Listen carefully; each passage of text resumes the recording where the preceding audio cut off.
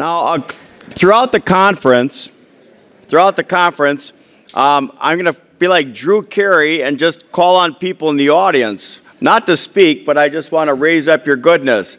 So I'd like to raise up Beth Dolder Zeke, who's had a, a, long career at Viterbo. She retires this week as our Director of Career Services, where for the past decade, we've had over a 99% placement rate in major, in large part due to her great work. Beth, thank you so very much.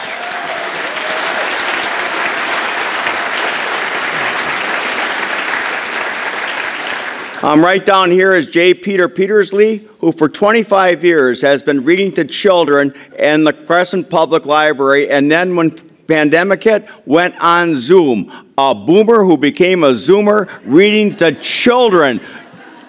J. Peter, thank you.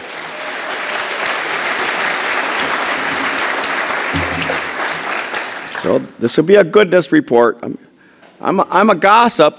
Be careful around me. You know, Michael pointed out I listen carefully. I'm not a peeping Tom, I'm a listening Tom.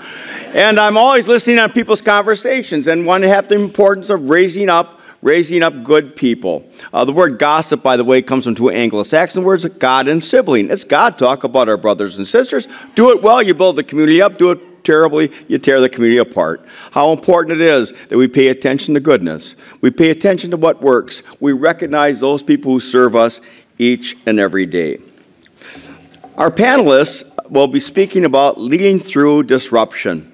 All of us have experienced disruption, not just these last three years, but for many of us, the longer you live, the more disruption you've experienced. Is that not true? We've all had rough patches.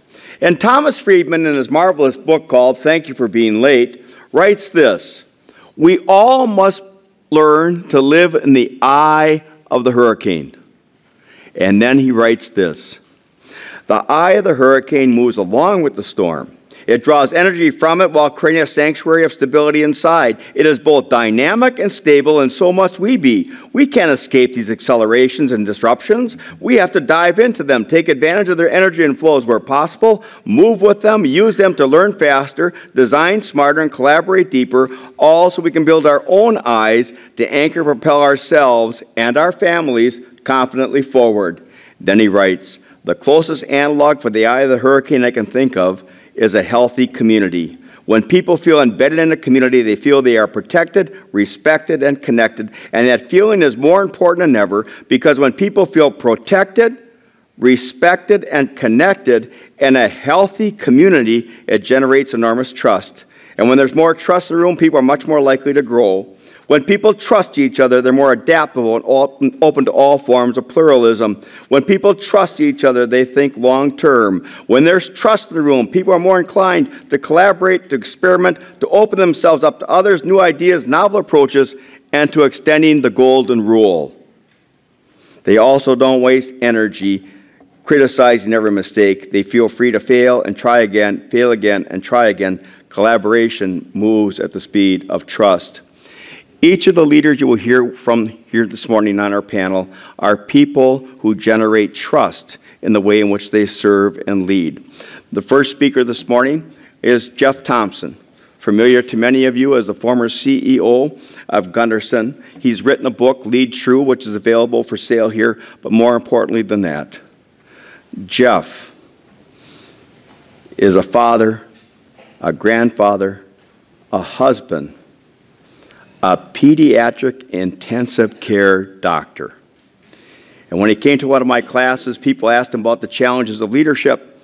And he said, Well, they're not that great.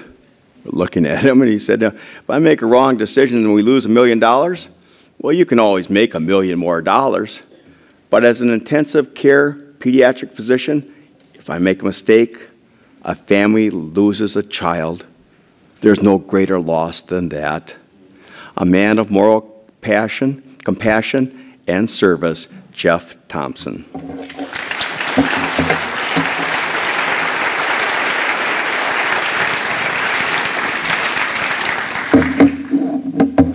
I have a timer. You have to put up with me for about 20 minutes or less. 19 minutes and 57 seconds now.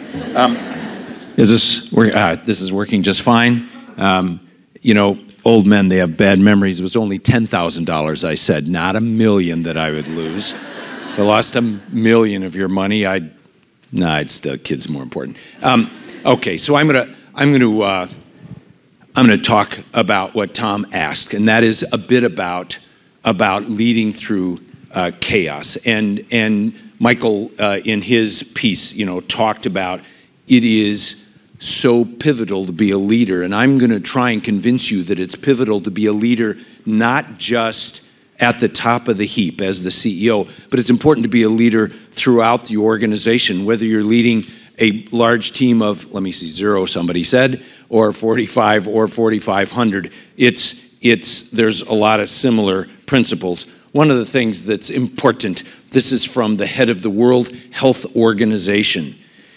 it, it connects with what Tom said about the eye of the hurricane. Um, uh, Tedros said we generally operate between panic and neglect. Think of the number of companies, think of the number of healthcare organ or government or business. Think of organizations that kind of don't pay attention to inevitably a disruption that's coming. The disruption's always coming. It's not that we're not going to have more disruption. So you can't you can't say that. So you say, how do you build a foundation? How do you build a foundation so those people that are trying to work with you to accomplish what you're trying to accomplish, how do you build that foundation so when when it's time to panic you you don't because you don't have to because you have a team. One of the hardest things, one of the hardest things I do um, in teaching other senior leaders and CEOs is to get close enough to the work so they feel the pressures, they feel the moral imperative of what they're doing, they feel the importance of the frontline workers. They're busy, oh, they got to have another meeting with a CFO, or they have to do strategy on something. They never get to where the people are really doing the work. And my point to them is okay, so you have seven brilliant women and men in your C suite. They're great. They're smart. They know a lot of stuff. They got degrees longer than their name. It's terrific. I'll take my 7,000. If I can inspire my 7,000 or 700 or 70, I'll take them against your seven in the sweet C suite any day. We'll outcompete, we'll outserve, we'll outlast, we'll outprepare. Inspire the 7,000, you'll always beat the seven in the sweet, sweet, C suite. Here's how you'll do it. Here's how you do it. Now, here's our strategic plan. This dovetails a lot with what Michael said. Notice what we have at the very top of the strategic plan. We used this one page strategic plan for 14 years. For 14 years. The quality, ooh, I'll get out of the way of your picture. You can have these, by the way, as well. Um, the, the, our quality uh, became nationally recognized. Service went through the roof in this town of 56 or 8,000 or however many there are. Um, we had 25,000 people a year apply for jobs at Gundersen. We put away more savings in 14 years than we had in 114 years before that and lowered the cost of care by having a purpose that said we're going to serve. We had all that success outward facing. It's an outward facing strategic plan. It says, nah, it doesn't say we're going to get the big, we're going to be the biggest, we're going to make the most money, we're going to kill the competition. We didn't say that at all. We said we're going to improve the health and well being of patients in the community. So when people apply for jobs, you say, uh, Do you want to kill the competition or you want to serve the patients in the community? And so you'd find bright women and men leader, and you say, Would you do that? Can you work on this? Can you work on that? Some of them are sitting right there in her chair who did exactly this, building our people, not to crush people, but to serve the well being. So you're saying you can't compete? Of course you can compete. We eliminated senior staff bonuses and still had a zillion people standing in line for jobs when we got a job. Look, look at the mission. Uh, Michael talked about excellence. Distinguish ourselves through excellence, not mediocrity. We say, Do you want to come here and get by, or do you want to be excellent? Carolyn says, I want to be excellent. Okay, so then she rose up from the very um, beginning jobs to being a very important director in the cancer center. We, our vision was to be good enough we could be nationally recognized. So you give your staff something to hope for. You're not aiming for mediocrity. You say, okay, this year, we're going to be 1% better than we were last year. Ooh, get some hats. Nobody cares. We're going to get our margin from 3.1% to 3.2%. People care even less. They don't care. You say, we're going to be so good that the breast center, the bariatric center, the advanced care planning program, the environmental program, we, program after program, are going to be as good as anybody in the country. People get excited about that. They get inspired because they know they are, let me see, serving the purpose. They're accomplishing excellence. How are you going to get treated along the way? You're going to get treated with respect. There's going to be integrity in the organization. We're going to innovate. There's going to be compassion. These are the values. So you start building, you're building a case. Here's where we're going, and here's how we're going to treat each other along the way. It's not an accident, it's intentional. It's completely intentional. You go to your strategies. How are we going to do this? The strategies are all outward facing quality for the well being through the eyes of the patient, service through the patients and the families, a great place to work. It's a passion for caring and improvement, aiming for excellence. It's compassion, it's improvement, it's aiming for excellence. It's not saying we're the greatest and we're going to crush people. It says we're going to get better. Why are we going to get better? We're going to get better to serve the health and well being of patients in the communities. So there becomes a momentum going along. Yeah, but what about the money? There's always about money. Healthcare is a big business. It's a big business. We got to have money. Sure, it is a business. Finances became a tool. I'm going to show you how this fits in a little later. It became a tool. So affordability is what our finance our financial goal was affordability. What kind of craziness is that? And by the way, it made a lot of sphincters pucker up in the boardroom when I first brought this out. They said, "Oh my God, he's a doctor. He's going to give away our money. He's he was probably one of those 60s and 70s long-haired sandal wearing." Might be true. Probably was true. But um, our finances were the best in those 14 years they had been in the history of the organization. But not because it was the goal, it was a tool, just a tool. It was a tool to serve. Growth, a tool to serve. Best growth we ever had, but it was just a tool, not intentionally to get bigger and crush somebody. It was just it was just a tool. Now it isn't always easy. I'm not saying this is easy. This is very, very hard. say, wow, that looks that looks great. It's 14 years it took us to do all that. It's not around, and there's a lot of pressures. I, I was out at Aspen recently. Deborah, Dr. Deborah Birx, you've all seen her on TV. She's part of the uh, COVID response team. She's a doctor, and and the interviewer said, "So, Dr. Birx, you're part of the Trump administration." She says, "I was not." He says, "Yeah, but you were. I saw you on TV." He says, "Of course, I served during that." But I served during Obama and Bush and Clinton. I am a civil servant. I serve the government of the United States, regardless who the president is. Said, but sometimes you seem to agree with them, sometimes you didn't. She says, people are complex. Situations are complex. Tiny little 12 second word boxes don't explain the complexity of a government or a pandemic or delivering care from the government to the people during a pandemic. the reason I put this up there, I had a, a, a, she had a great talk, and I had a chance to chat with her uh, for a while. She is, first of all, a civil servant. Leave the politics out of it, even leave the science out of it. She's a civil servant. She, her job was to serve.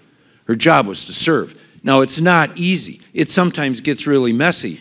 Other people just quit and left. She said, I'm going to stay and try and make it better. Everybody, own values, own decisions, you figure that out. But her goal, her goal was to serve. Lots of labels, lots of struggles. But her goal was to serve. So I'm not saying this is all easy. It is not uh, easy. But here's some guidelines. Uh, Nichols wrote an article in the Harvard Business Review. You as a leader, here's, so here's something to remember. It's messy. We talked about that. You want to prepare ahead of time, build a culture. So we build a culture. It's going to be messy. We understand that. You have to balance speed versus precision. Sometimes it's you feel good, make a decision, move on, make it. Sometimes, sometimes you have to be more accurate than that. You just can't get it done. You have to engage all the staff Amplify your wins. Engaging all the staff. That's my seven or 7,000, right? Your C suite against my 7,000. I'm going to win. I, am going to win. I'm going to deliver better care. I'm going to engage the community better. It just, I, I just, it's just going to be easier. Amplifying the wins has to do with not making it all about you, the leader or the leader group, or even your organization. A servant organization to the community helps the community win, rises the group. So amplifying wins is a ever widening circle. It's an ever widening uh, circle that we can't we, we can't ignore. Now, you might say, well, this all sounds good, it sounds healthcare. Here is here's an article out of Lean organization. Lean, Lean is um, the Toyota production system. It's all about manufacturing and all these kinds of things. They have all these tools, and you've heard about them being, you know, tight on money and things. When you look at the data from well-run, lean-based organizations, if you just use the tools, you get some gain. And if you organize the tools across a system and measure and improve, you get more gains. But if you want to be a great organization, you're a principled driven organization. So this is this is this manufacturing thing says about principles. Yeah, the principles are about trusting, teaching, and engaging the frontline staff, believing that they can help you solve problems, rising continuous improvement up to serve the greater good. Does it help the organization? Of course, but it helps who you serve as well. So it's so it's principle. So this is mechanical manufacturing international business. They say the end of the line is not a good system. It's a principle driven organization because when the systems need to change, you change the systems because they're not serving the principles. It's the principles that win that win the day. Let's look at uh, an another one of uh, Thomas's favorite authors, uh, uh David Brooks, and another person named Dubois. They were at uh, at a conference in in um, in Oxford. the proceedings were published. If you take a group of people and you say, here's where we're going, here's the level of excellence we're aiming for, and here's our values, here's how we're going to treat each other, then, then they actually can collaborate. People can collaborate. Uh, when tight, things get tight, I know leaders, people more experienced, especially the old gray haired white guys in the C suite, we want to control things. Yeah, I know best. I've been around 107 years. I know everything. I'll just fix it. Turns out, if you build your team, whether it's five or 500 or 5,000, if you build your team around a set of principles, agreed on the goals, agreed on the pieces, you don't have to panic. You don't have to change things. 2007 and 8, 2007 and 8, economic downturn, fell apart, end of 8, we're, we're in a mess, 9's in a mess. Do we ever have layoffs? We didn't have layoffs. I never promised the staff we never have layoffs, but what I said to them is said, here's the deal. We'll do everything we can. We'll do everything we can. We'll cut here, cut here. Help me. Help me keep our finances somewhere on the rails and we won't take it out on the frontline staff. And we won't take it on the community by raising prices. We'll take it out on the CEO and the senior leaders who have to go to the board and get beat up by the board for not hitting our financial marks. I said, okay, I'll take a beating. But in the long run, it was better for the organization because flash forward a number of years later, I sit, I, I in by 2016, 17, I'm done being the CEO. I write the book. I have a book signing. I had staff coming up frontline staff, housekeeping, facilities, uh, frontline nurses, billing clerks, IT folks who said, you know what, Jeff, you, you, um, you had our backs in 2008 and 9. We, we knew, we knew that we, you couldn't promise never to have a layoff, but you didn't have a layoff. A lot of other people did. And because of that, we believed you had our backs. And so ever since then, nights, weekends, holidays, when no one's looking, we've had your back. Now, a turkey at Christmas or a little bonus in the check doesn't get that kind of loyalty. That's amazing loyalty. Are they loyal to me? They're loyal to the purpose of the organization. Here's something to remember. If you want to know where, when some leader is transformed, figure out whether they're still stuck in holding people accountable or they are responsible for the well being of their staff. Holding accountable? Yeah, people ask, I learned that at MBA school. I'm, I'm, I'm, I hold people accountable. I'm a good manager. Ah, I can get a robot with a clipboard to hold people accountable. You want to build people? You want to be responsible for their success? That. That is a great leader. That builds teams. That serves the purpose. That gets you through tough times because they're responsible for the health and well being of their staff. Three minutes. All right, perfect. That's exactly how much time I wanted. Um, yeah, I never believe an ICU guy. They just make stuff up. Um, here's a flywheel. Here's how it all goes together. If you look at this, a, a serving flywheel says you got to have a clear mission, you have a clear mission, you build a clear culture, you get staff that believe in that, you have disciplined leadership. This is one of the things I'm going to talk to Michael about. I think this is a very important part to his leadership wheel. You have to manage the leaders all the way up and down the organization because a bad leader will have a, a umbrella that's not good. You move finances, facilities, and growth to a toolbox. You don't ignore them, but you move them, you move them to the toolbox. That's that's what you need. And then you get this virtuous cycle of moving around. We talked about courage. You asked about bravery and courage. Here it is. You want to live those values? Here's what it takes courage, courage to stand up and say, here's what they are. Discipline to stay with them, even when things look ugly, even when it feels like you're going to panic. And durability, because you're going to get beat up along the way. So, courage, discipline, and durability. What I really want you to take away is that as a servant leader, you can be as strong, as bold, as innovative, as proactive, and as competitive as anyone else. It's not about being nice. It's about building an amazing team that can serve each other, the organization, and the community.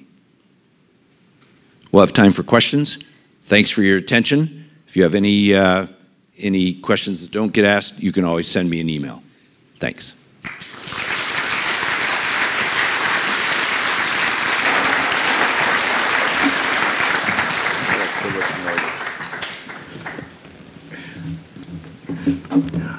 I do have one question. You really had long hair?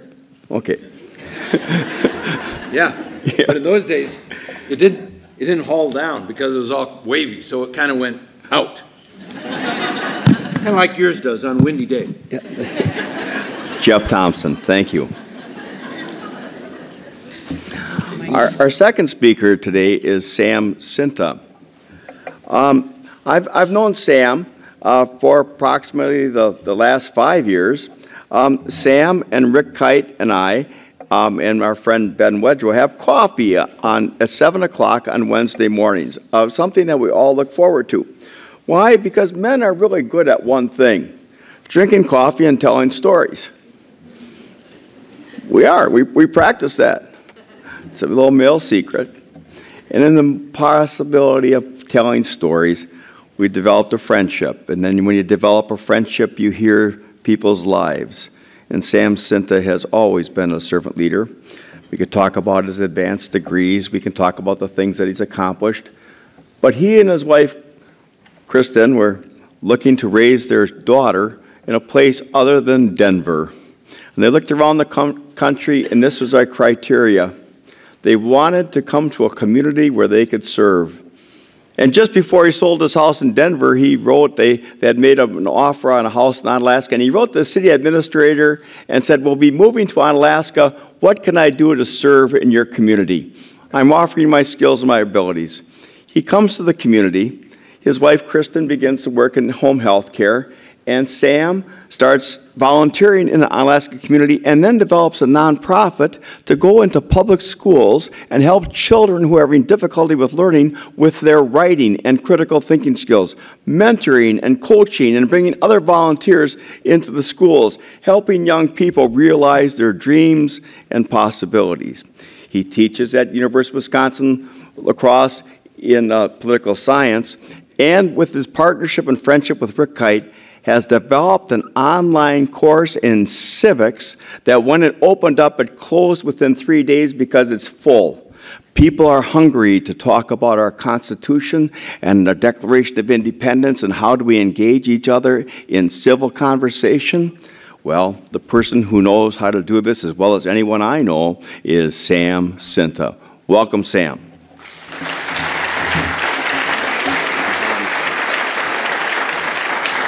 Thank you, Tom, for those very kind words. Uh, good morning, everybody. I, I, had to try that out because I heard the first two speakers do that and you all responded. And as someone who teaches at the university, the number of times I walk into the classroom and say, hello, everybody, and I get one student, maybe, in a class of 60 who goes, hey, uh, so it is just remarkable to just get that uh, call and response. So thank you so much. It is just an honor to be here today to talk with all of you. I'm here to talk uh, with you about my main uh, job, which is uh, publishing. I'm a book publisher with Fulcrum Publishing. how many of you love books? Show of hands. Everybody, right? Everybody loves books. We all love books, we all buy books, but so few of us know what really happens within the book industry. And that's what I want to talk a little bit about today is the disruption in the publishing industry that we've experienced over the past couple decades and how a publishing company responded to this disruption. A small company based in uh, Golden, Colorado. I actually have my office here, but we are headquartered out in Golden, Colorado. The nice thing about uh, telecommuting these days is you can live where you want and, and be able to work with staff across the country. So uh, for about 400 years, the publishing industry, the book publishing industry, was a pretty stable industry. Gutenberg invented the movable type. We had books on paper. People were using those books, and it seemed pretty standard. And then the 2000s hit, and a lot of things started happening in the industry that were very opaque to most people who buy books. First of all, uh, Amazon came on the scene. You all are familiar with Amazon. How many of you buy books from Amazon? Okay, you're part of the problem. Thank you very much. Uh, but Amazon came on the scene, and this changed everything. It changed everything from what books are being published to the pricing of books to the timing of books. Uh, for example, right now, when I'm doing new books, I have to let my distributor know uh, that I'm going to be doing new books about 14 months ahead of that book's release. Why? Well, because Barnes & Noble and Amazon demand that information for us because they then have to load that into all of their various systems, which means that my whole time scheme changed. It changed marketing marketing, it changed publicity, it just radically upended the industry. In some ways for good, in some ways that were very challenging. Second of all, the advent of ebooks. Any of you do ebooks, have e readers? Yep.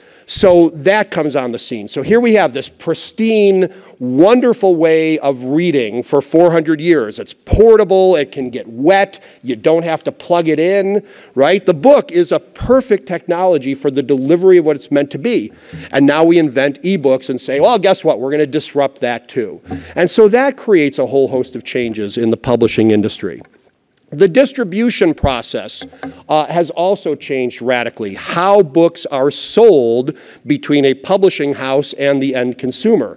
Time was when I first got into publishing in the 1990s that we had our own sales force. We had salespeople that would call on bookstores, that would represent our books, that would be able to talk about our books with book buyers, who would then be able to connect with consumers. So we had that great relationship. One of the things that has changed and evolved with some of these other changes that have happened in the last couple of decades is bookstores no longer want to deal with 400 publishers' sales forces. Instead, they want to deal with distribution networks, meaning that now I'm represented by a company that also represents about 80 other publishers. Meaning that if I want to understand who my consumer is, that's going to take an extra layer of knowledge on my part, an extra effort on my part to be able to do that. Uh, decline in readership has been a big thing that we also saw over the past couple of decades. The American Association of Publishers, uh, about a decade or so ago, did a survey. This was a wonderful, wonderful survey. They found out that in the prior year that they did the survey, 51% of adult Americans read one book that prior year. Okay? Now, that could be anything from a romance novel to a John Grisham thriller to a travel book to a handbook for some other purpose. Most Americans, adult Americans, don't read books. What was interesting is in that same poll, they found that while only 51% of Americans had read a book in the prior year, 75% of Americans felt they, quote, had a book in them that they wanted to publish, uh, which is just one of those wonderful statistics. How many of you would love to, you know, you have a story that you want to tell? Yeah, come find me afterwards. I can't tell you if I had a nickel for every time that someone had a book that they had to publish. And then, of course, COVID was a big disruptor, not only for publishing, but for all industries. And we're still feeling the after effects in book publishing. Uh, one of the things that has happened markedly in book publishing over the past year and a half or so is paper prices have increased dramatically. Why? Well, in large part because the paper that is used to produce books derives from the same source that also makes those boxes that everybody now wants shipped to their houses, right? Because everyone is doing online shopping during COVID, meaning that paper prices have skyrocketed. I have seen our paper prices triple in the past year. Uh, which means, of course, much like what uh, Jeff Thompson was talking about, that someone is going to have to pay that price ultimately. And so if you've noticed that your books, your paperbacks at the Barnes & Noble or the Amazon that you go to have increased, a large part of that is because of paper price increase.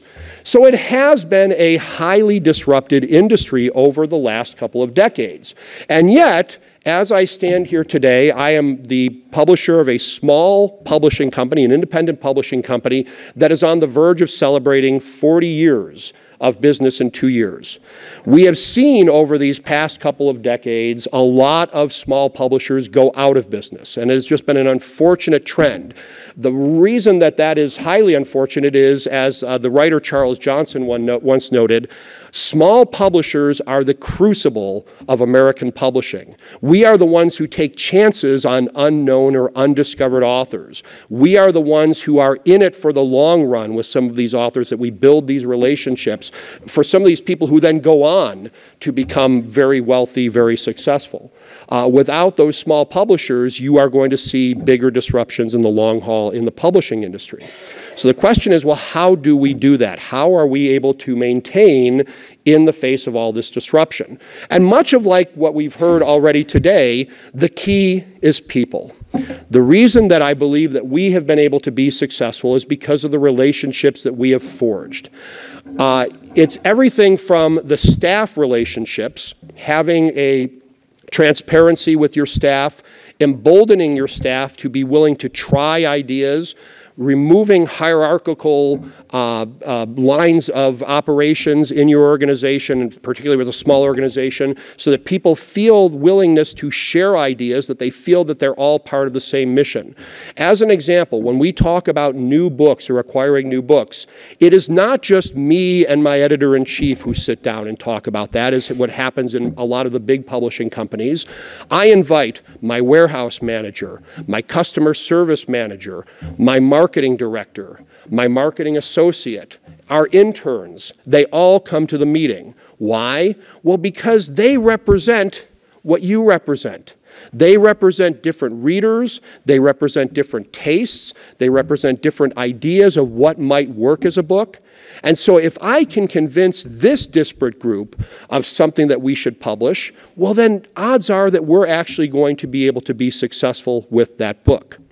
But when we ask the question of who do we serve as an organization, it's not just the staff. It's also looking at those other relationships that we have developed and that we have fostered over the years. And that starts with people like our authors.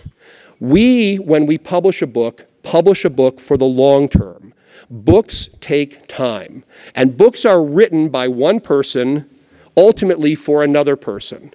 One of the things that I think a lot of, uh, particularly publishing companies, uh, fail with is the fact that they believe there's some sort of economy of scale in publishing.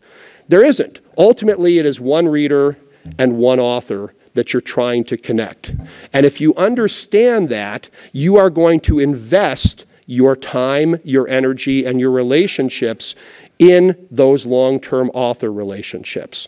Uh, we have been blessed over the years in working with some high-profile people, uh, people like Vine Deloria Jr. I don't know if any of you are familiar with the field of indigenous studies, but Vine Deloria Jr. is perhaps the greatest intellect in Indian country over the last 50 years. We did several of his books. The reason that he worked with us, well, because we listened to him, we paid attention to him, we gave him the attention that he deserved. As a small publishing company, we've worked with three major party presidential candidates on various books with them over the years. Something that you only see generally with the large publishers. Again, why? Well, because we build those relationships. We take time to invest in those relationships. We understand that mission and service come before profit. And it's not like we don't care about profitability in our organization, but every decision that we make in terms of the books we publish always starts with that sense of mission, always starts with that sense of delivering a product to the marketplace that deserves to be in the marketplace, that deserves to be read by some group of people. Now, sometimes that group of people might be 500 people that we know really need this book. Sometimes it might be a potential audience of 5 million people. But the point is trying to understand who that audience is as well, because you're serving that audience also. If you approach publishing with this long term vision, well, all of a sudden things make a lot more sense. You're not worried about the immediate return on the book. You're recognizing that you might have a book that takes a year, two, five, ten years to succeed. We have one book called Empty Cradle, Broken Heart. Uh, it was written by a psychiatrist, and it is a, a collection of stories and interviews with women who have lost their children during pregnancy.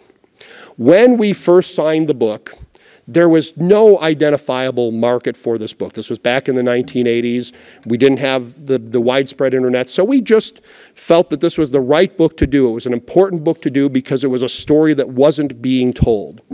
Uh, we worked from a grassroots level to try and connect this author with various groups. We got her out on the road to talk with groups. And over time, this book has now become the best selling book on this topic in the country. We've sold half a million copies of this single book over that time. Why? Well, because we weren't worried about the 12 month return on that project. We believed in that project. Our team believed in that project, and we took a long range perspective. This same notion of building relationships goes into some of the institutional relationships that we have developed over the years. Probably the, the best one right now that I'd like to share with you is recently we have entered into an arrangement with the Reinhart Institute to start publishing books on servant leadership. For those of you who follow the servant leadership field, you know that while there are publications out there, there are a lot of holes right now in the servant leadership field. And so starting this year, we are going to be, with the, the, help of Rick Kyte, who will be working as the series editor on all of these books, releasing about three to four books every year in the field of servant leadership. Now, oh, thank you. Now, why are we doing that? Well, it's not because of the money right? It's because we recognize that there is an opportunity here to spread a message that needs to be spread, that needs to go beyond even the people in this audience, that we want to do books that connect to people outside of the servant leadership movement, that we bring people into the movement along the way. Now, how are we going to do this? Well, again, we're going to use those same practices that have allowed us to avoid or to overcome some of the disruptions over the past several decades. We're going to invest in relationships. We're going to take a long term view.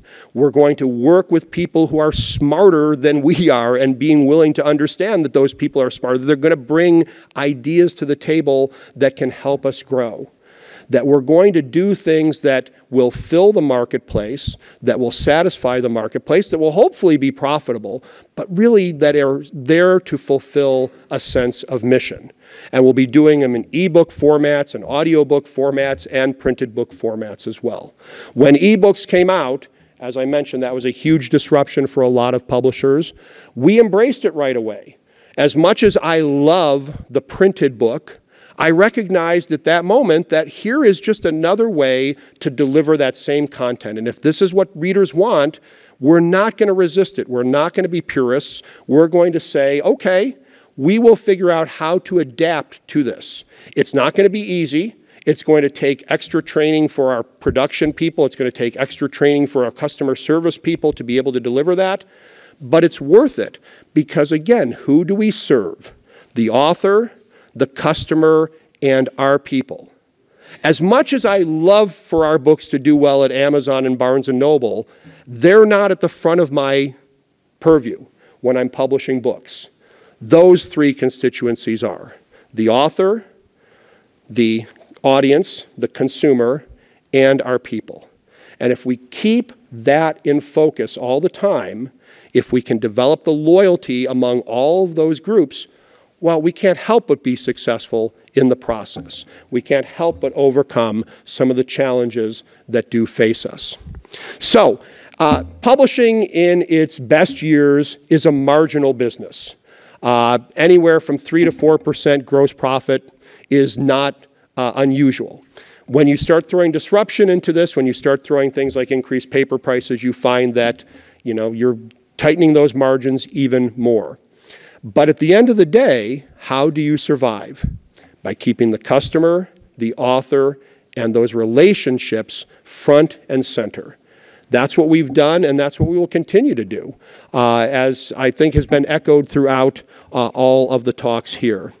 Within that, we'll innovate. We will try to be creative. Uh, dirty little secret right now, I won't go into the gory details, but Amazon makes more money on our books when they sell them than we do.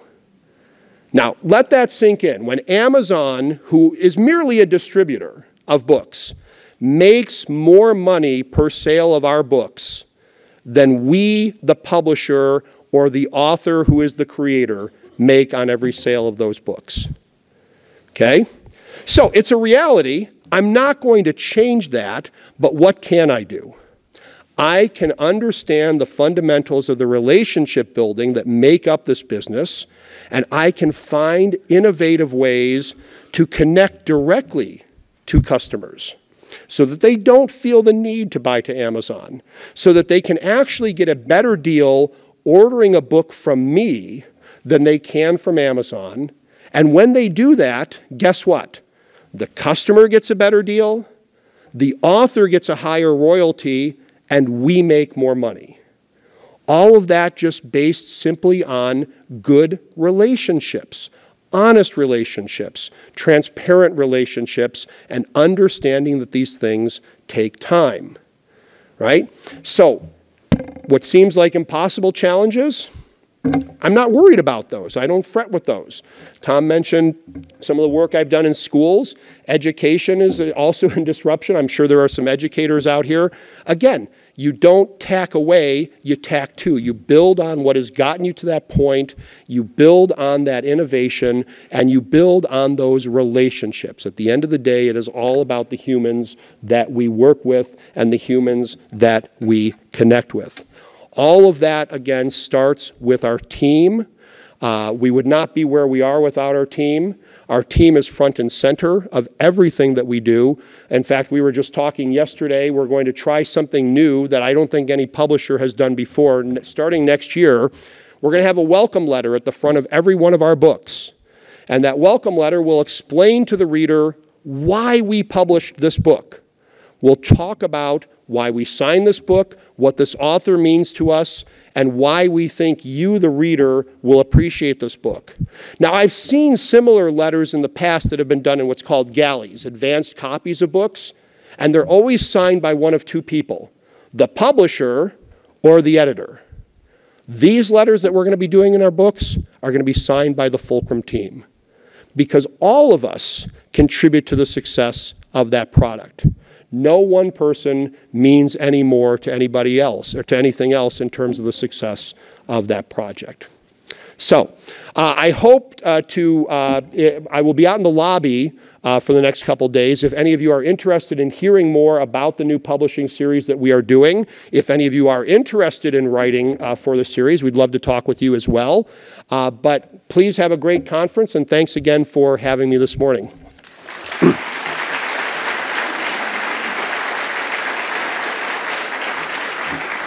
All right, talk to the person right next to you. What's the best book you read in the last five years? For the person right next to you, what's the best book you read in the last five years?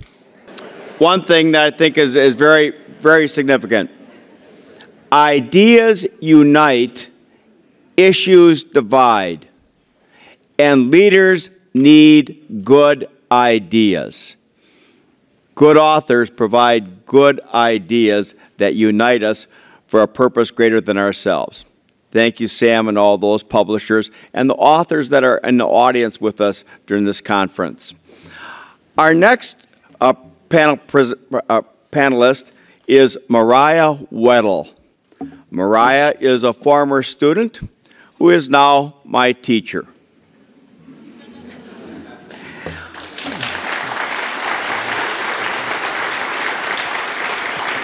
I met Mariah when her grandmother insisted that she come to Viterbo and interview for a position in the master's degree in servant leadership. Grandma is in the audience. They're up there. Grandma, as a PhD, as a nurse, practicing in Milwaukee, oftentimes with people living on the margins of the community. And she is looking at a place because she loves her granddaughter, where her granddaughter might flourish. And she said, without an option, this is the master's program that I think you should go to. Mariah had a year of college eligibility. A D1 recruit played at two D2 schools, had another year of eligibility because of an injury, and came back and was our first graduate student to play on the women's basketball team. Then at that time,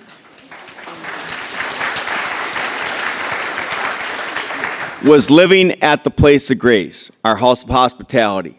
And she comes in, and here's this young African American woman, and she's standing there and she's talking to people. And a couple of guys came in and they started speaking Spanish, and I think they were being smart alecks. I can't understand Spanish. But this young woman turned around and she spoke Spanish right back to him, and they kind of shot up.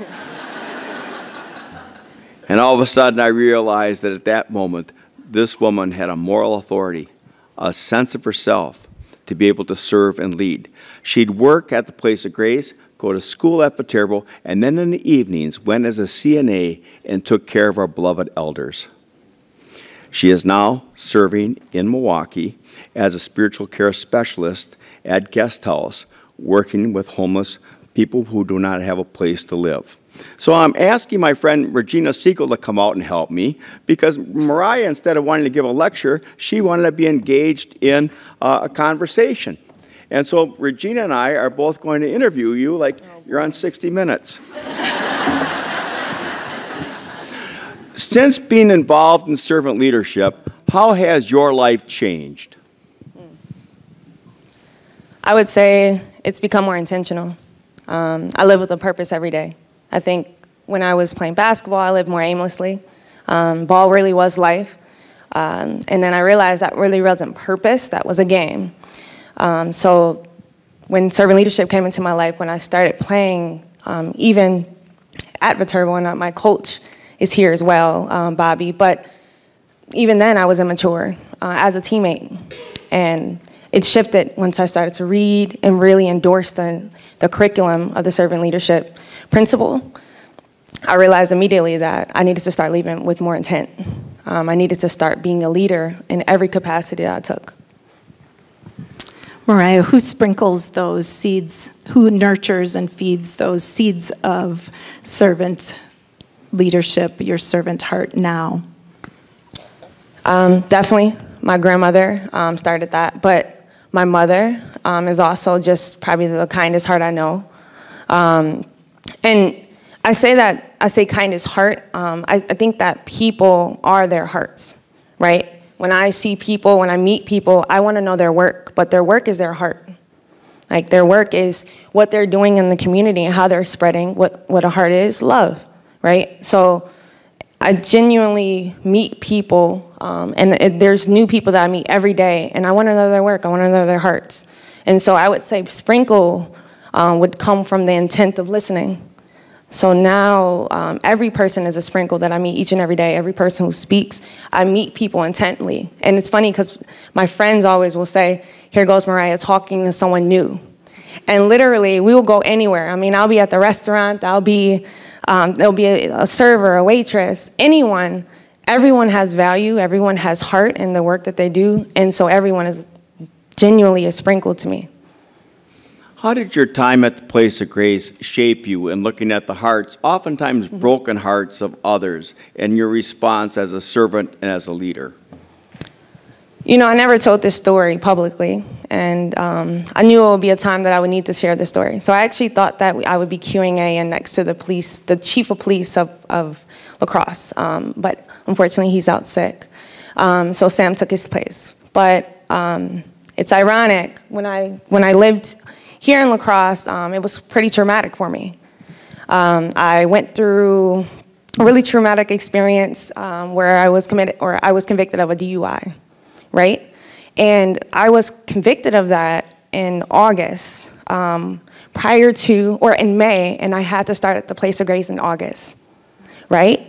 And I don't even think my culture of Viterbo who's here knows that. Um, no one knew that. But the people that I serve are uh, unfortunately the most vulnerable po- population who unfortunately has to numb out their pain. And so what do they do? They use, right? What do they do? Um, they hurt each other, right? Because a lot of times we don't know how to, one, speak about, articulate our pain, but also try to work together to heal ourselves. So I think starting at the place of grace is when I realized that I was no better than anyone that would walk through that door because I also made my own mistakes.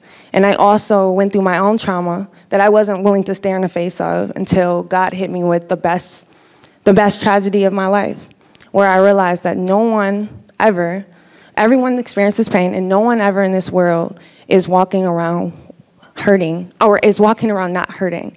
Every person has gone through something that has changed their lives forever.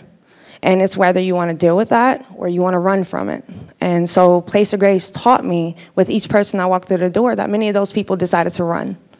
That or and or live within a society of systematic racism who never knew what it was to be provided for and have unfortunately had people run from them, had resources run from them. And so I serve them with that integrity each and every day. That's beautiful. Mariah, in your current role, you help nurture the souls, the hearts, the spirits of some of those who are hurting the most in our communities and in the Milwaukee area. Can you talk to us a little bit about some of the things that might go on during your day? What are some of the daily tasks that you're doing to help serve your community? Absolutely. Um, one is a privilege to do what I do. Is a privilege to sit in front of anyone, and I work as an individual, uh, individualized counselor. But then I also work in the group setting, um, rendering group therapy at Guest House as well for a um, substance abuse program for serving males um, in the Milwaukee community. So I'm either running a group and or I'm, uh, I have about now 18 clients, so I'm ripping and running throughout the Milwaukee area because I come to them. Um, and all of them coming from all walks of life, women, men, all of some being double my age, some being my age, um, no one being younger than me. Uh, and that was huge at first for me to swallow. Like, what do I have to say to these people? But I started to realize that my tragedies, my trauma, spelled out my wisdom. And that's why I started to realize that people listened to me. They wanted my service. And then that's why wait lists and things like that have been created since then within my service, and it's become pretty popular in the Milwaukee area, um, which I don't talk about much at all, right? Um, but I would say with what I do, faith, um, my service is, obviously it says the spiritual care specialist. Um, and I didn't really understand, uh, really, I would say, disseminate how faith changed my life until I started doing what I was doing um, and been doing for two years. I realized once I was teaching other people the importance of faith that it made me understand its importance. It was the same thing as when I now have coached basketball um, at my alma mater in Brown Deer. Same thing. I didn't understand what the, uh, the, the challenge of a, being a coach was until I started to try to teach basketball to young girls who didn't want to listen to a word I had to say, right? Um, so both went the same way, but teaching faith taught me the importance. And teaching basketball taught me the importance of needing a coach and a role model. So I would say faith um, and really learning what that was um, through my clients has really kind of resonated with both and all the people that I serve, um, just the importance of it in society. Uh, Mariah, you embraced the moral imperative of servant leadership that Robert Greenleaf talked about. How are the least privileged being served? Um, how has this transformed your life in identifying with the least privileged? Right now in La Crosse, we have about 140 people living in Houska Park. Mm. And it really hurts me as people talk about those people. Yep. Or what we just saw happening in San Antonio 51 people dying uh, in a in a in, brought in transit mm-hmm. and don't even have a name. Mm-hmm. Um, how is it that you help people rediscover their humanity in the midst of all this? I would say interconnectedness is the most important word we all need to endorse as a society. Interconnectedness. When we detach ourselves from thinking that other people mean anything to us at all, that's when we divide as a country, and that's when polarity is created. We literally live in a polar community by choice. This is not by design. Well, some might argue, but by choice, um, we live in a polar society. And the reason is for, or the reason is because of many ignoring interconnectedness and its importance. What does it mean and why is it a word? Right? We, uh, Michael talked about words earlier and how words don't mean anything unless it means something to you, right? Like unless you actually embody the word. You know, it's just your actions. But interconnectedness, what that word really is saying is a common love. We all have to come to a sense of loving each other. And I know a lot of people are probably like, that's BS. I have to take care of my family. I have to do this. I have to do that. And that's the problem, I think, with the world right now, if you were to ask me, it's the fact that we don't think that every person deserves the privilege of being loved, first and foremost. And the biggest thing, one of the things was that they weren't eating on those who passed away, unfortunately, the 50 people who passed. They weren't eating. Who knows where, where, whether they were drinking? Like, just survival um, needs every that, that we all have uh, need to be met by every person but we have to all care about that each and every one of us has to care about that, uh, regardless of what we look like, how much money we have, um, what we've done in the past, right? Transgressions. We can't let that hold us from loving everyone, and that's true interconnectedness.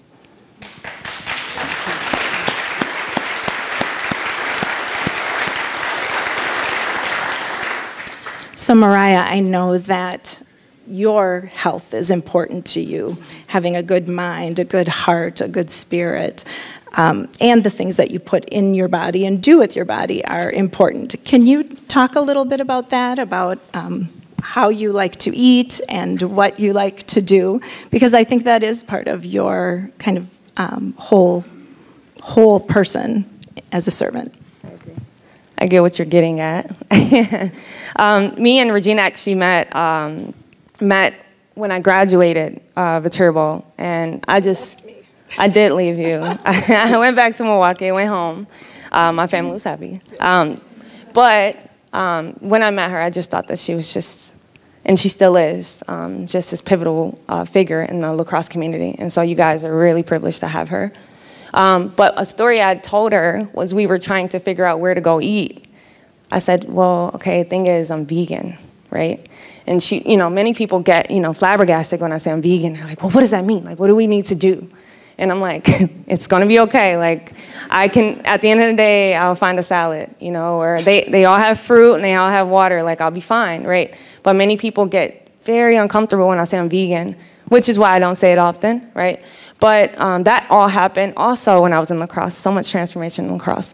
Um, I got diagnosed, and um, my coach, Bobby, remembers this. I got diagnosed in 2016. So when I, I graduated from my um, school in Indianapolis with my bachelor's in psychology, and I also had, um, at that time, I had just been recovering from hip surgery. So I tore my labrum in my hip, and I was actually playing on it, which, if anyone knows, that's like ridiculous, but I was playing on it. I wanted to play my last year. I was devastated. And so I had to just succumb to being injured and being out the entire season. And that's why I didn't want to end my career like I did, so I, went to, I came to Viterbo. They gave me the opportunity. But the first thing I remember, one of the first things I remember telling Bobby, my coach, was, hey, so I'm doing this pescatarian thing, so like I just need you to be okay with it, okay? Or no, at first I think I, no, I ended up telling her that I want to be vegan first. And she said, can we just like meet in the middle at pescatarian? and I was like, you know what? I think I probably should like, because I always try to jump. So I was like, maybe I should jump just a little, a little bit before I like really reach the top. So that's where it started. Um, I because during that time, the reason why they end up finding that my hip, I tore my labrum, or I had a stress fracture in my hip twice, and I tore my labrum the second time. And the doctor ended up saying it was because I was basically malnourished because I had hypothyroidism, and I didn't know. And so I got, um, I got a prescription for a medication that they said that I needed to take for the rest of my life. And I just thought that that was like the worst news I had ever heard in my life. Like, I was like, this is it. Like, mom, like, and they almost promised that I would probably need thyroid surgery. So I just thought it was, it was over. And I remember once taking the medication, I remember just saying to myself, okay, I'm gonna figure a way out of this. And then, so it was veganism that I researched over and over and over through my undergrad that I realized that was what I was gonna choose. That was a course. Because it was worth a try if they already gave me, you know, a terminal sentence, right? And so that's what happened um, over the course of uh, my time in, in La Crosse. Uh, so 2017, August of 2017 is when I became vegan. So I started in 2016, and it took me about a year to become vegan, do that transition. Um, and I weaned myself off my medication, anti um, Western medicine. My doctor hated it, but whatever. Um, I got my work, uh, my blood work done over and over and over because she didn't believe it, and my levels have been leveled for about five years now. So, um, yep, I've been a vegan since 2017 August. And um, but as far as taking care of yourself, I took ownership of my health in the moment. You know, I said, is there any other way to live a better life without being dependent on medication? Is there any other way? That was it. Like many times we just need to ask, is there any other way? And a lot of times we don't want to sacrifice things that we love for that. Like what what could I do different other than take this medication to feel better. And so I, if I'm connecting it, the two together, we need to do that in society as well with everything and so on and so forth. But I'm, in, I'm like I said, I became intentional because of servant leadership. So it, it also included my body. Um, and so being vegan has really, really helped me, but also it, helped, it has helped my family and my friends. Everyone to this extent around me eats healthier um, because of me you know, and it's just, it just was a commitment for myself. So we need to all really think about the sacrifices we're making because it's not just for us, it's for everyone around us as well. So wise, yet so young. Uh, at this point, we're going to call out our other two panelists and give a chance again for questions. Regina, thank you. Why don't you stay here? You, you asked such wonderful questions. So, Sam, and you can come over and join the mic with me here. So Sam, Jeff, have a seat. There's a stool there.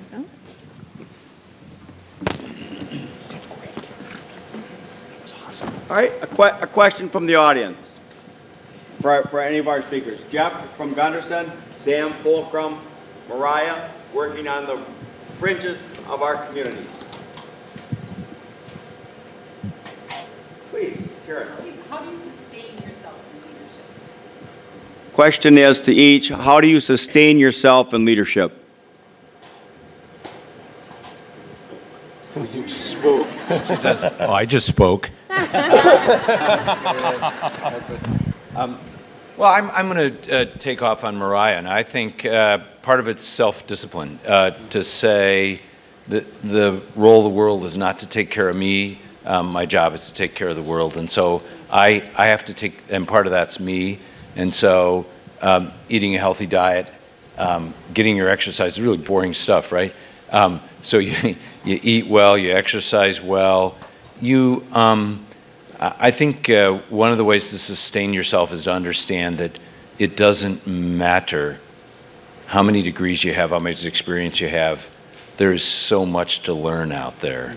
And, you know, some, I don't know where this phrase comes from. It's kind of cliche-ish, but, you know, as a leader, if, if you're more of a learn-it-all than a know-it-all, you, you will sustain yourself better because you can find people to teach you from the front row, from the middle row, from different organizations, people that look different, talk different, have different backgrounds.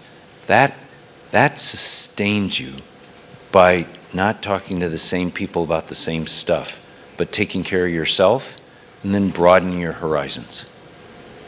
And uh, echoing on, uh, a little bit, building on that and and echoing a little bit of what Michael was talking about this morning, being willing to be wrong or being willing to make mistakes, right? And, and accepting that and understanding that you don't have all of the information and, and you're open to learning to new experiences every day, I think is, is critical for that. Yeah, yeah, I heard somebody say the other day that you got you don't get better unless you make mistakes. And I don't think that's true. I think, I think you get better by making mistakes and then learning from them. Yep. Uh, There's a lot of people that make mistakes, And just Yeah. make mistakes. just keep making mistakes. That's right. That's right. They just, they It's don't that learn a learning part that's key, yeah. I would say balance too. You have to find the balance of taking care of yourself. It has to be the same amount. Like I can't put in so much to my client and then go home and do nothing for me. It has to it has to be equal. Um, making sure you're taking care of yourself, just as you want your clients to take care of themselves. I have a question. So we're talking about disruptions in this session, and um, there are many disruptions in our world right now and in our country right now. What would be your thoughts on uh, a step that we can take here, a tangible step, to help heal our community or heal our world?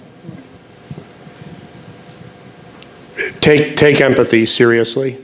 Uh, as again was discussed this morning, listen to people. And uh, when, when I talk with young people about critical thinking, when we think about critical thinking, we tend to think of it as what I would call the, the vertical, right? The deep thinking. But critical thinking also is horizontal. It means opening yourself up to new ideas and new experiences and being willing to maybe be wrong or to learn from somebody else, to acknowledge.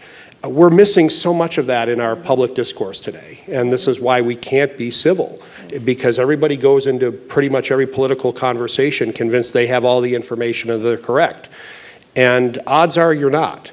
Uh, but you can learn from someone, you can listen from someone, and, and by doing that, we can actually build some bridges in our society if we take that seriously. I, I think there's very few problems that we have that are single sector problems. Um, healthcare, after being pretty much comatose for 50 years um, or 100, is finally wake up saying, gee, some patients are sick because of things outside the walls of the hospital or the clinic. What an amazing thing. who, who knew that being starved or uneducated or not having immunizations, not having um, adequate transportation, food, or opportunities could make you ill. What an amazing thought. Maybe we should do something about this. So, so I think almost none of the solutions are single sector. And that's why You go back to the original discussion of the day about purpose, what do we want for our communities, and then who's going to contribute to that? Whose voices? Mm-hmm. Broad and deep voices. Whose abilities? Broad and deep abilities from different parts. That's how you solve problems long term, not for the next monthly financial report, but long term for the good of your group, your organization, or the community. So it's breadth and depth beyond your walls, and that'll make you a stronger company, a stronger educational organization, uh, or whatever you're working in. Um, I always say uh, change doesn't come without disruption, right? Change doesn't come without chaos. So I would say it needs to be us embracing disruption. Um, more came after, say, the racial uproar. More came after COVID. We started caring about the lives of others more. Um, embracing the change that came after disruption and not just seeing it as it was this horrible, horrifying thing. How do we change as people after it? Embracing that and then pushing that and not just allowing that to be one thing that happened and then a year later go back to where we were. No, endorse the change because it, it happened for a reason. It's good. Yeah, it's good. Please, lady, right behind the point. This question is for Ms. Weddle. Uh, How do you maintain that balance, uh, uh, maintain the balance in your life after giving so much away? How do you, yeah. Question is, how do you maintain balance after giving so much away? Nice. That's a, look, that's a hard question. and I, I could promise you, I'm not great at it, um, or I wasn't great at it. But it, it wasn't until I started being accountable for my own mental health, right? So if I'm a, you should always take in the things that you expect others to take from you, right? So if I'm, if I'm a counselor, I needed therapy myself then. You know, um, if whatever it was that I was giving away, I also needed to take back. So if I go to, if I'm speaking, then I also need to be reading content. You know, um, so I would say, uh, how do I lift up? How do I lift myself up? I always am evaluating myself. I'm being honest with myself. I'm journaling. I would tell everyone to get a journal. I'm journaling. I'm praying. I'm, I'm figuring out what is it that I need in my life right now. I'm always asking myself, what do I need? And then I go about finding those things for myself. So always evaluating self. You're welcome. Please, last question. I have a question for Sam about publishing and about self-publishing. Has it been a disruptor for your business? Has it given you opportunities or challenges as a leader? The question is, publishing and self-publishing, how has that contributed to disruption and opportunities? So um, when I first got into the business, self-publishing was there, but it was incredibly expensive. Uh, people had to pay thousands of dollars and would end up with a garage full of books, basically, uh, which no one wanted to. And, and Amazon, of all players, uh, and Barnes & Noble to an extent actually really radically changed all of that. So that now the self-publishing uh, availability is for anybody. Uh, you can pay very little. You still should pay to get your book edited if you're going to self-publish uh, a good edited book, and, and it also probably pays to get somebody to help with layout. Uh, but the, the the barrier to entry is much lower. Um, I don't see that for us as a, a, a, a disruption simply because uh, it kind of goes back to the thing I said earlier about how so many people have a book that they want to get out there, but not everybody has a book that fits for a traditional publishing house.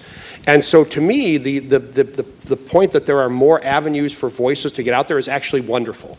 I think that that is tremendous. Uh, because the more voices that we have out there, the more people can actually connect with those voices. Many of the self published books, I think the average self published book sells about 40 copies a year. So they, they're not real big sellers, but for the person who writes them, and for those 40 people who buy them, they are very, very important books. So that doesn't work in the model of traditional publishing, but, but great that there is a path for that that exists today. I actually think it's quite wonderful. Now, I think bigger publishers and other publishers see it maybe as a disruption because it clutters the marketplace, or maybe as an opportunity because sometimes you can pluck some of these, particularly fan fiction novels, and, and build that into a great new brand, as, as has happened with some, some, some books over the years. But no, I think the more voices we have, the more democratic process we have for publishing, we're a better country for that. So, so I'm, I'm happy to see that there are platforms for that existing today. Well, we're going to have to leave it, that, leave it there. Want to thank uh, Regina Siegel, Vice President at Trust Point, for coming up and leading our discussion.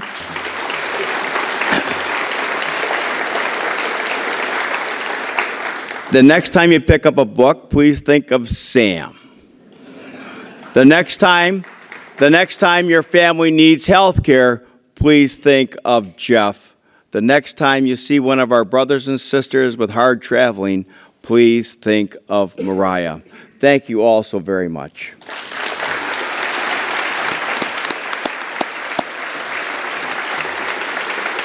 And now, just before lunch, Kathy Smalley is going to lead us in a, a, a short engagement exercise. Kathy?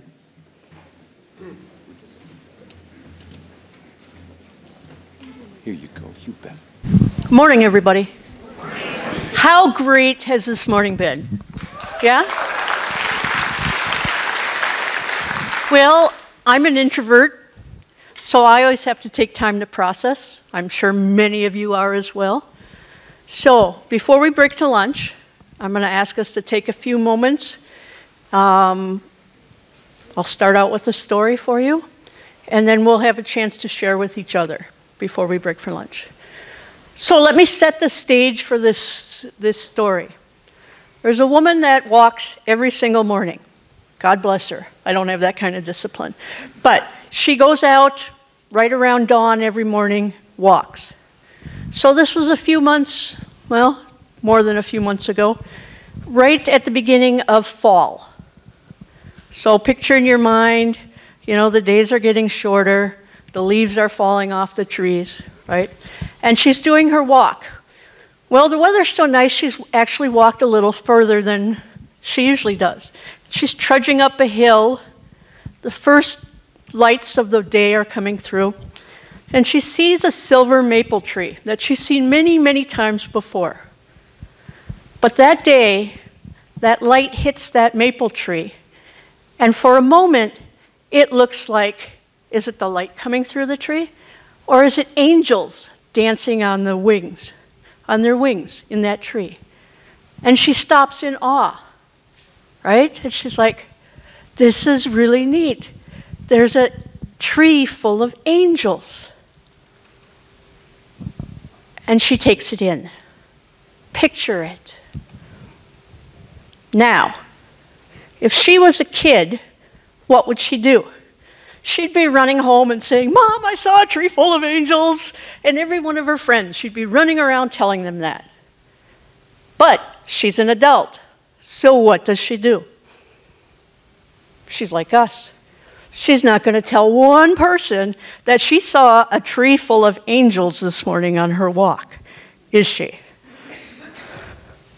Keep that in mind as we continue along here. So, the Robert Greenleaf, as you all know, is the, the father of servant leadership.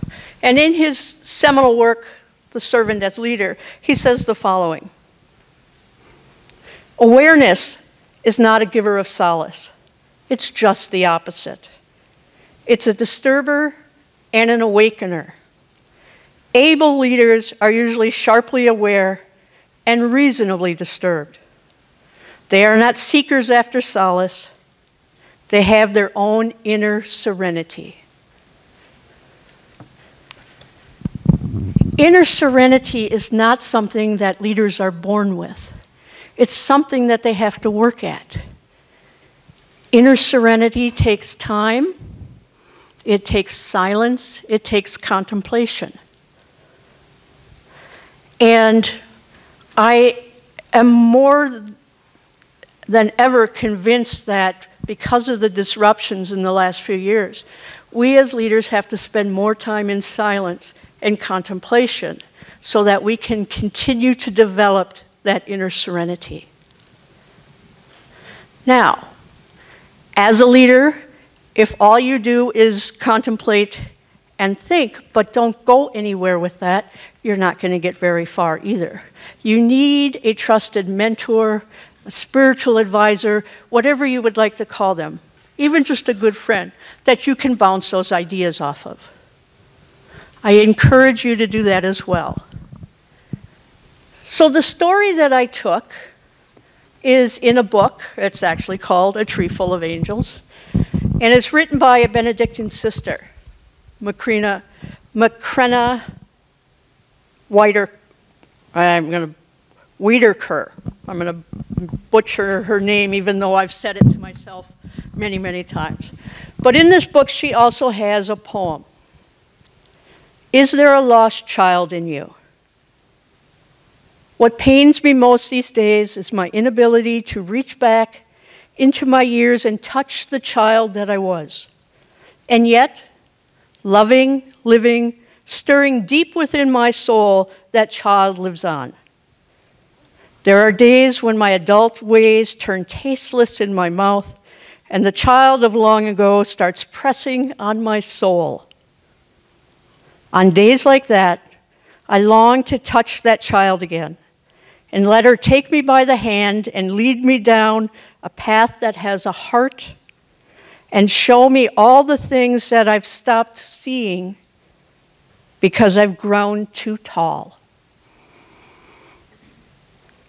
I invite you to spend a minute or two and think about things that you no longer see because you've grown too tall.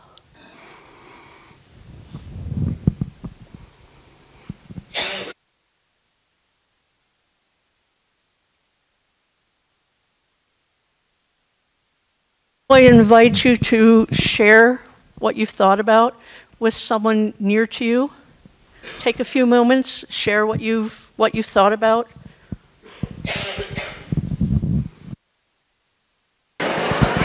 Thank you. If we if you guys are like anything like me, I can talk myself into doing all the self-care that I want and I can read and contemplate. But if I don't make a promise to myself, if I don't use an I will statement, I will probably not do it next week or the week after. So I encourage you to repeat after me. I, I. state your name. Not state your name. Come on. I, Kathy Smalley, I promise that over the next 30 days, I will, I will pick one thing that you would like to do for self care. I will, walk every day. What, what it, so that I become a better servant leader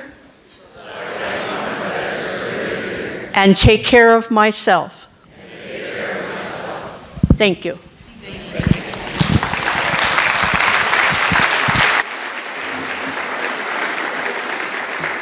Kathy is a leader and trainer at Optum.